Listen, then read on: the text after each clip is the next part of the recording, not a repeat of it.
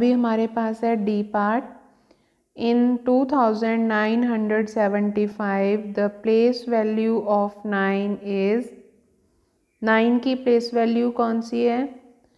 Once tens hundred thousand तो हमारे पास प्लेस वैल्यू आई हंड्रेड तो हम नाइन की प्लेस वैल्यू लिखेंगे nine hundred that of two is dash and that of seven is dash अब हमने बतानी है टू की प्लेस वैल्यू वी और सेवन की प्लेस वैल्यू कौन सी है? टू की place value ones tens hundred thousand तो हमारे पास आ गए टू थाउज़ेंड हम लिखेंगे टू थाउज़ेंड नेक्स्ट है सेवन की प्लेस वैल्यू बतानी है. वन स्टेंस ये बन गई हमारे पास टेंस तो हम लिखेंगे वो सेवन ज़ीरो सेवेंटी इसी तरह